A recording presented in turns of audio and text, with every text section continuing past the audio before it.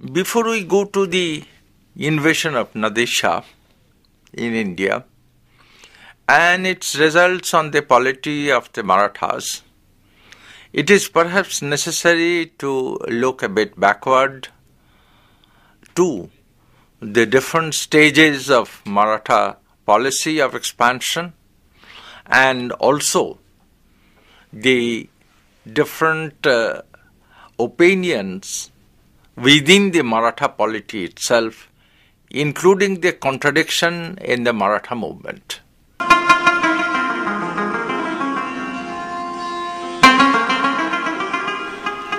The Maratha policy of expansion has been divided into three stages. The first stage, from the death of Shivaji to 1719, whose first half was full of the question of survival, and the second half gradually sees the expansion of the Maratha attempt in the Karnataka, in the Deccan, in Malwa, as well as in other places. The second stage of this Maratha expansion is from 1720 to 1741, the Peshwaship of Bajirao. And in this particular stage, the entire seed of the Maratha imperialism, the entire contradiction within the Maratha movement, the other problems, all these come out during this period. The third stage and the last one is from 1741 to the third battle of Panipat.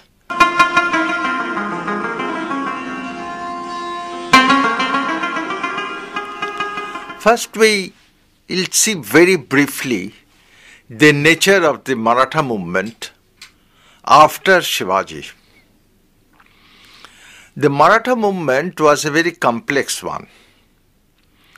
It was complex because it started with a socio religious reform movement with some cry for independence, for good administration, and so on and so forth. These were not a very consistent one in that sense, and it, and it involved much of religious thought. But it sees itself in the Shivaji's policy of Swarajya, in the Shivaji's policy of Hindu Pad Padshahi. But along with this, after the death of Shivaji, the principal problem was the peasants. Due to the Mughal invasion, the Maharashtra or the Hindu Rajya of Shivaji was almost devastated. And after the death of Shivaji, the peasants were neglected and their condition deteriorated. It is in this situation that we see the attempts of the Maratha Sardars.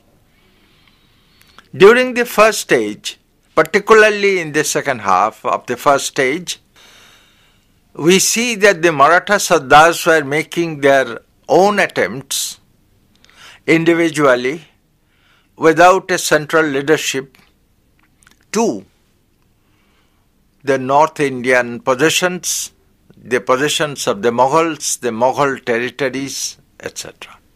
These Maratha Sardars were becoming more or less autonomous. Earlier they were under the rigorous control of Shivaji, but now they are autonomous and they do not want to lose their autonomy.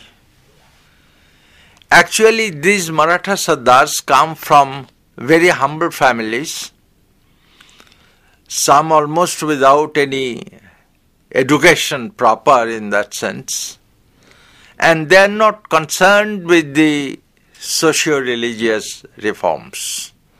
They are not concerned either with the peasants, unless it touches his own interest.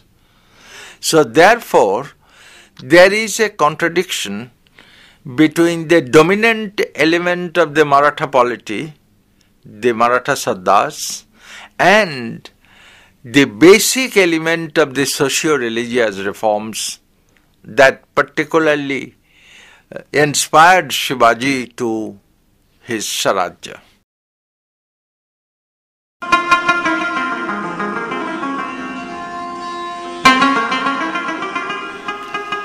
Now, in this stage, in this situation, Bajirao, when he took over, there was the problem of determining the Maratha policy. What would be the Maratha policy? There were two persons in the court of the king. One was the Peshwa, Bajirao, and the other was the Pratinidhi, Sripat Rao. Sripat Rao's point of view was that the Maratha state has been devastated. First, the army and the finances should be strengthened. The Mughals should not be provoked, and Nizam should be kept friendly. He suggested that the Siddhis of Janjira should be first conquered as they are advancing from the coast. Bajirao opinion was exactly opposite. Bajirao said the Mughals were totally dependent on the Marathas. They are asking help from the Marathas all the time. Nizam will be surrounded if we get Gujarat and Malwa, and he will be cut off from Delhi. He is then of no power. Siddhis of Janjira, they could be kept under control with the household troops. They are not serious fighters, particularly in the coast. And the only problem was the Karnataka. But the Karnataka has, has no money. So the money and the riches, these are in the north of India. So therefore, he stated that the Maratha policy should be to plunder the rich areas of the north to get the financial strength and ultimately the uh, Marathas will plant their flag on the bank of the Indus. This was the vision of the Hindu Pad Padshahi. But Bajirao was a very practical man. He knew that this was not practicable at the moment. Later one may see, but now at the moment this is not so. So therefore he did not want to provoke the Nizam to a great extent. And as we have seen last time, that Nizam was defeated, he agreed to pay money, and Bajirao agreed to that. There was a good case of friendship even. In 1727, when Nizam came back from Delhi, his deputy Mubariz Khan resisted him, but with the help of Bajirao, Nizam killed him and got the throne of the Deccan. The friendship started, but the friendship had one problem that both of them, that is Bajirao and Nizam, they wanted Karnataka, they wanted to control Karnataka. So therefore, Karnataka remained as a bone of contention between them. Meanwhile, in the Mughal camp, two parties had already been formed. One is the war party and the other is the peace party, meaning thereby that the war party wanted war with the Marathas and the peace party wanted peace with the Marathas. In the war party, the most prominent one was uh, Nizam, then Sadat Ali Khan of Awadh, then the Wazir Kamaruddin Khan, etc. In the peace party, They were led by Jai Singh of Jaipur and Khani Dauran, the Mir Bukshi. The emperor so long was leaning towards the peace party and Jai Singh tried to broker a peace between the Mughal and the Marathas in 1728. But that failed. And now, in 1735, after the debacle of the Nizam, there was some peace, and Bajirao himself went to Malwa his mother had gone on a pilgrimage to North India, and Bajirao's policy was to contact the members of the peace party to speak in their favor. We must remember that Bajirao did not want to change the Mughal emperor. It has been said that Bajirao's policy was to plant a Hindu king in the throne of Delhi. That is absolutely not correct. Bajirao was a very practical man. He understood that although the Marathas speak of the Hindu kingdom, but it is impossible to plant a Hindu on the throne of Delhi. So therefore what Bajirao wanted but first of all to use the Mughal emperor to increase his own demands, his increase his own prestige. It is to this policy that Bajirao adhered to.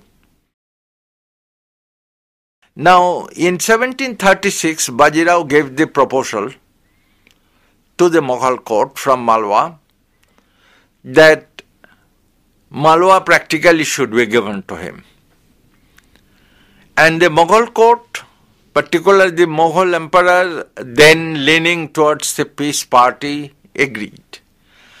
But Bajirao, at the last minute, again gave a fresh proposal which meant that the Mughals would practically be out of Malwa and Gujarat and they would have to pay a lot of money. This angered the Mughal emperor and he now began to lean towards the war party.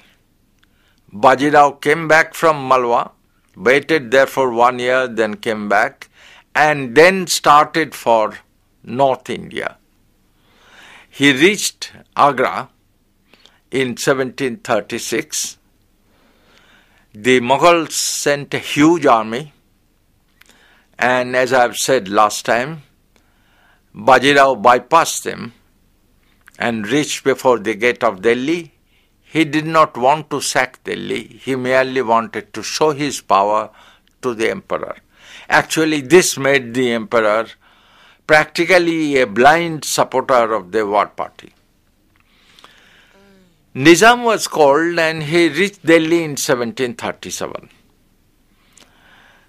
He was immediately appointed governor of Malwa and he decided to drive the Marathas out of Malwa. With 30,000 troops, he advanced towards the Chambal River. Bajirao had 80,000 troops, and he surrounded the army of Nizam, who had very good artillery. Therefore, the Marathas could not assault the camp of the Nizam, and Nizam could not come out of the camp. Actually, a famine started within the camp, and Nizam had to surrender, agree to hand over Malwa, and pay 50 lakh of rupees to Bajirao. He never paid this amount, and Bajirao, at least for the time being, went back.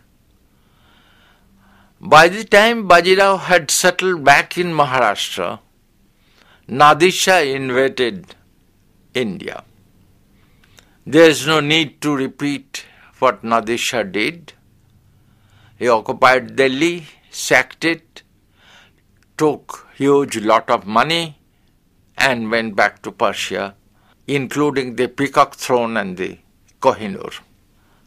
After the departure of Nadir Shah, it was found that Sadat Ali was dead, the Wazir Kamaruddin Khan was dead, Khani Dauran was dead, the peace party had only Jai Singh, the most influential leader near Delhi, and in the war party Nizam. But Nizam was far off. It was at this juncture that Bajirao determined to force the issue. But before he could force it, in 1741 he died, and the third stage began with Nana Sahib as the Peshwa. Nana Sahib was not a general. He did not come from the military rank. He was far more practical in diplomacy, but he did not know much of the situation in North India because the last time he visited was in 1748.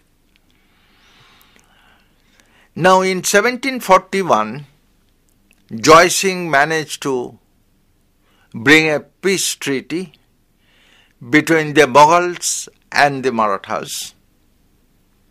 The terms were very simple.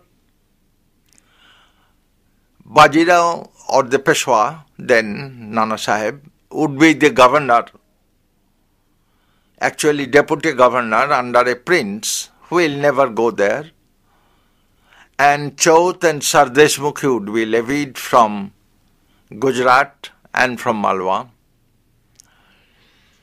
Instead of 50 lakh of rupees which they demanded, 15 lakh should be given to them.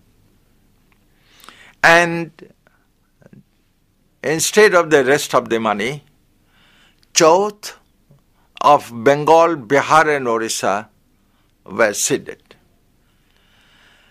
Now it is one thing to see the Chaut of Bengal, Bihar and Orissa in paper. It was another thing to collect it. Shahu, the king of the Marathas, appointed Raghuji Bhosle as the person to collect this amount and the area belonged to him. In 1741, Raghuji Bhosle appeared in Bengal. He returned with some money and then again came back annually every year from 1743 onwards, ravaged the areas, Midnapur particularly, even reached once near Murshidabad and Orissa. Finally, in 1751, Alibardi Khan, after desperate resistance, decided to call a halt to these wasteful programs and then signed a treaty with him, with Raghuji Bhosle, that an annual chaut of 12,000 rupees would be given to him each year. And in Odisha, there would be a Maratha governor appointed by Raghuji who would practically control the entire Odisha. Odisha was ceded to the Marathas underhand. But this was not the only thing that Nana Sahib did. There was the question of the Deccan because Nizam died in 1748. And after the death of Nizam, the French General Bussy became the controller of Hyderabad with his French troops. The Marathas now demanded Chaut. Bussy resisted. He was defeated. And in 1751, he was forced to cede a part of the Hyderabad area, including Khandesh, to the Marathas, along with the right to levy Chauth. So these are the two principal gains of the Marathas during this stage, after 1741. But the Marathas were looking actually towards North India because that is where the plunder, prospect of plunder lies. In 1741 treaty, there was a clause that the Marathas would not cross the Chambal river, that is, they would not come to North India. So the Marathas continued to maintain that.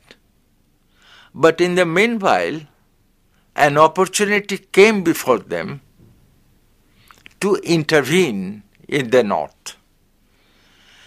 The princes of Rajasthan, instead of uniting them against the Marathas, began to fight among themselves.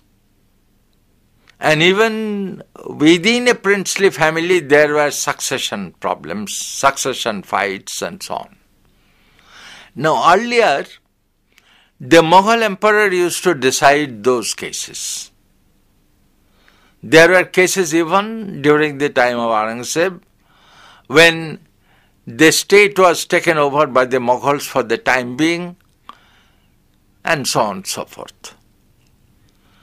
Now the Marathas, instead of the Mughals, became the supreme power by deciding these cases with their force, they decided cases in favor of one or the other. And then they began to settle down there, taking their Chauth and Sardeshmukhi, etc., in violation of the Treaty of 1741.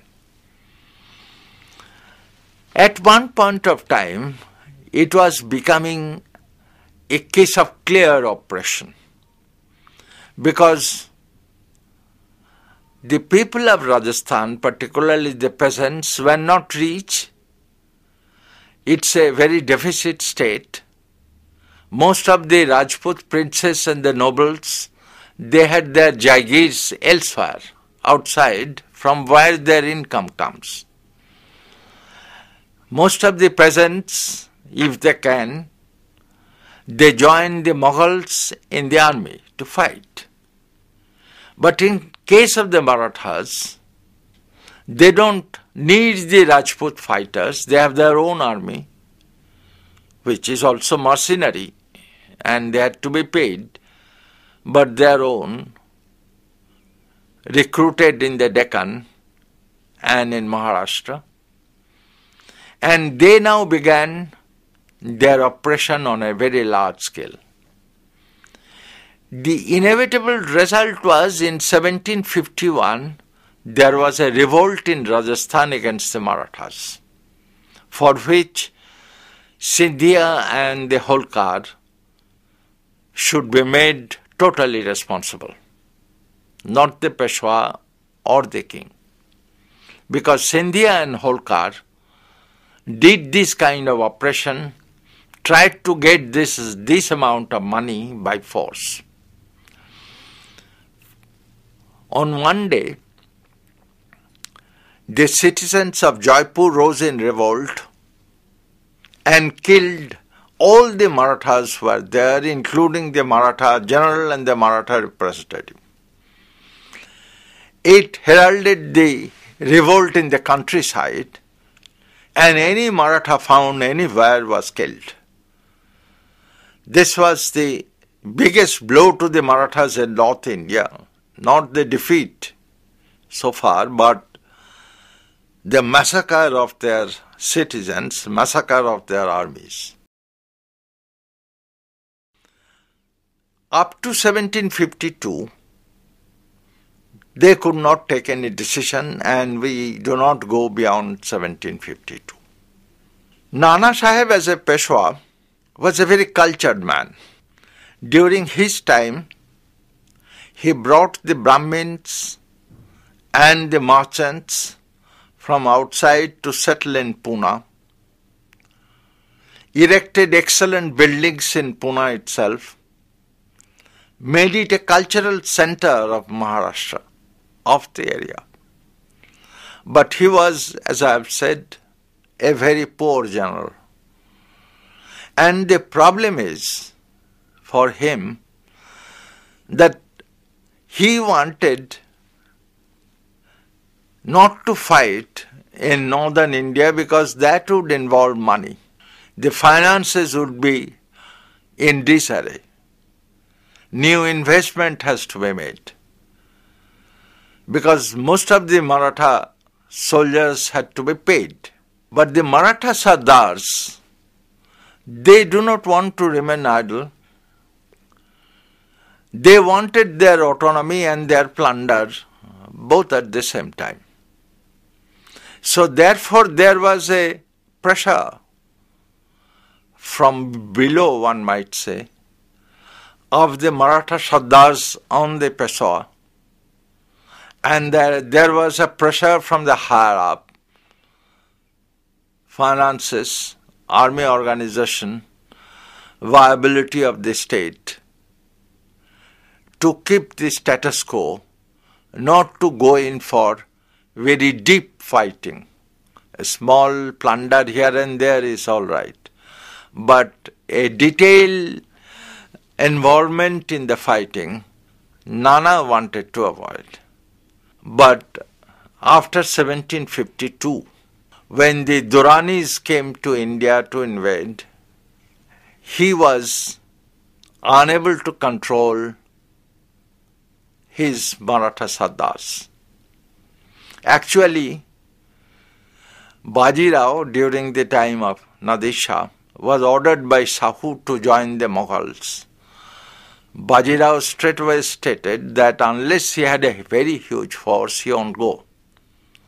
His force was then besieging the western coast of Bassein from the Portuguese. Nana followed that kind of a policy that without a huge force, this cannot be done, but there is no money to pay for the huge force, so therefore this cannot be done. But then circumstances led him to do exactly what he wanted to avoid and in the Battle of Panipat, one third of the Maratha flower lay on the field, with Maharashtra polity totally decimated.